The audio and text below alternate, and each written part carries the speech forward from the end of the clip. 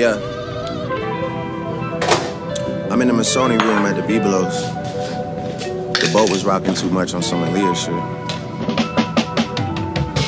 For real. We going from the Vava to Sync on Sync, then back to the Vava. If you know, you know, baby. I don't, I don't know what to tell you.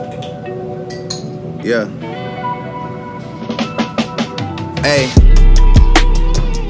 Look. Got teardrops on me like I killed somebody. Oh my god. Alright, what is up, you guys? It's like 7 o'clock right now. I'm eating some rice and a banana, and I got my pre workout drink. And uh, I'm just getting ready to go to the gym. Got legs today, and it's gonna be a hard day today, so making sure I really get these carbs in because I'm gonna need them. And um, I've been having issues with like my knees kind of hurting a little bit when I wear my sleeves. And I I don't think it's like my kneecaps like rubbing in a wrong way or like tracking because my hip mobility has been pretty good lately. And um, my ankle mobility has also been pretty good. I like definitely focus on stretching before I start like working out. But I think it's like more like the sleeves put pressure on my kneecaps and like push them onto my knees, like downward kind of. And that's been giving me slight pain every once in a while. Like I won't feel it like when I'm squatting until like maybe my last set. But yeah, I've been alternating like leg days where I won't squat or I'll squat. Like squats are obviously like a really good exercise to be doing, especially as a powerlifter. But right now I'm like trying to grow as much as possible. I actually have a lot of exercises that I like that don't necessarily put that same pressure. For example, like the leg extension machine, where you sit down and like curl your legs out. Those give me the absolute nastiest quad pumps, and I just really enjoy that exercise. And I've been noticing my legs have been growing a lot lately. I like slightly attribute that growth to using that machine. Also, dumbbell and barbell RDLs have been crazy too. Two plates on there, go for around 10 reps, do like four or five sets of that my hamstrings just get absolutely pumped. By the, the end of the workout, I literally can't even flex my legs anymore. Like, I see no striations, I see nothing because they're just so full of blood. Legs have been growing a lot. Today is a squat workout though. I'm just gonna wear my knee sleeves as little as possible. Go pretty light on the squats today, just get a lot of reps in, and then hit the leg extension machine once before to just kind of warm up my legs, and then once after squats to absolutely just destroy them afterwards, and then we'll finish off with some RDLs. So that's the plan for today. I'm gonna finish eating my rice, and I'll see you guys. First got to America, niggas wouldn't check for me. No chance the kid'll make it here like vasectomy. They underestimated my trajectory. But now they gotta pay that shit direct to me. I sent a label bills, bills, bills, like the other two women standing next to B. That shit was just independent women is loving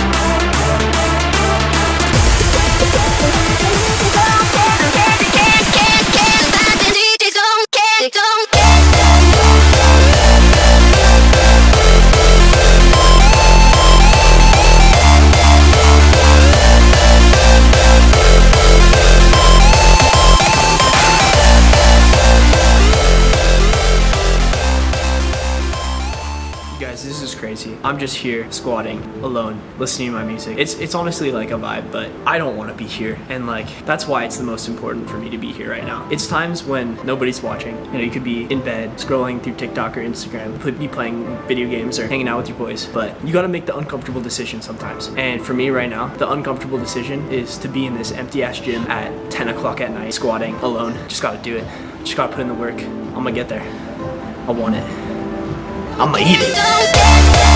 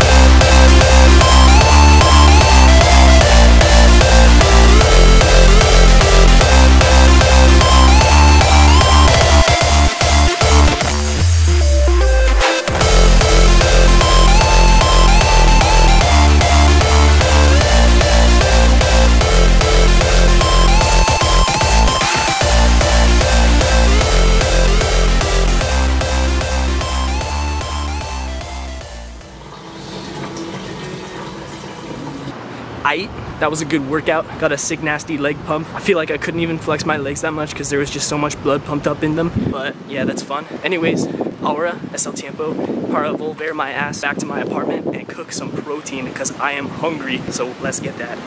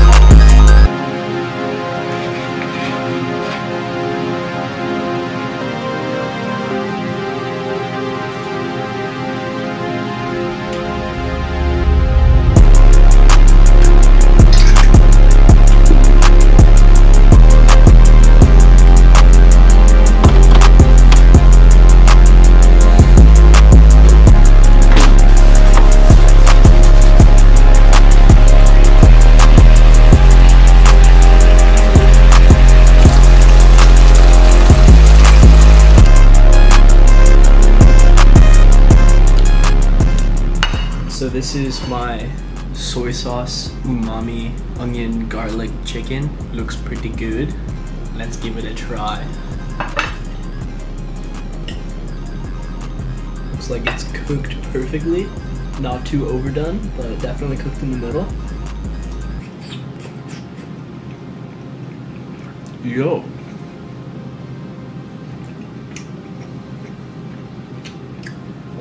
This is bomb.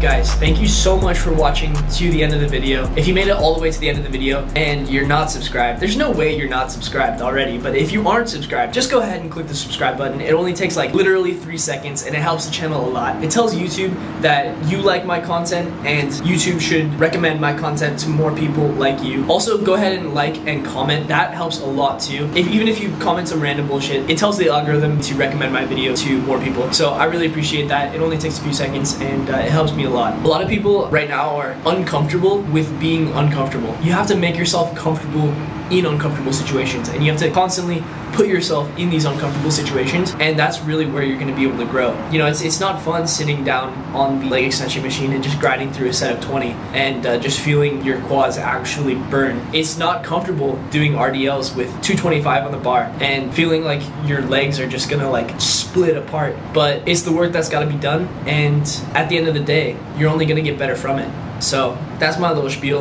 on just making yourself uncomfortable. Anyways, yo, I'm gonna go inside and take a shower and get ready for bed. It's like almost midnight right now, so I'm very tired. But I hope you guys enjoyed the video. Please like, comment, share, subscribe, all that stuff, and I'll catch you in the next one.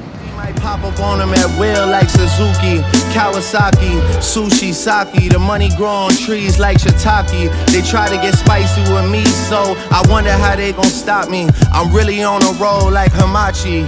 The fuck would y'all really do without me?